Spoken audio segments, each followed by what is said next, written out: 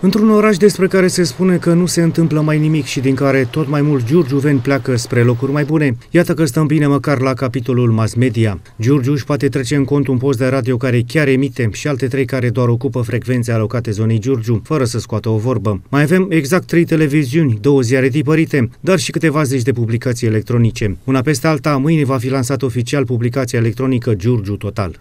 Avem o sumedenie de ziare electronice. De ce încă unul? Da, acest ziar va fi preponderent un ziar de cultură și chiar de cultură înaltă. La ora actuală, societatea românească suferă din acest punct de vedere. E clar că nu va fi numai de cultură, va fi și politică fără discuție.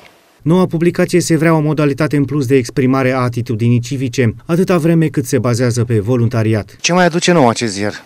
Pe acest ziar ce înseamnă de fapt? Înseamnă o acțiune intelectuală de voluntariat.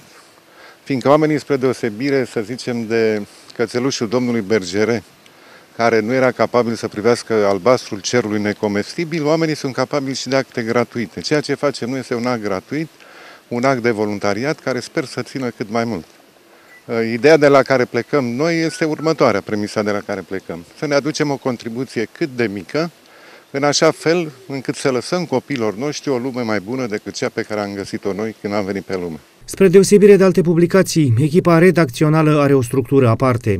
Din uh, echipa de colaboratori, de voluntari, uh, nu fac parte ziariști, sunt doar, există doar un ziarist din Suedia, unul singur, dar asta nu înseamnă că ziariștii nu vor putea să scrie aici. Cu toții cei care scriu în acest ziar sunt experți în domeniile lor de activitate, experți în sens psihologic, uh, dar care sunt cu totul altele decât jurnalismul. Noua publicație va fi lansată oficial mâine seară pe malul Dunării, începând cu orele 18 și și-au anunțat participarea jurnaliști, prieteni ai echipei redacționale, dar și oficialități ale județului.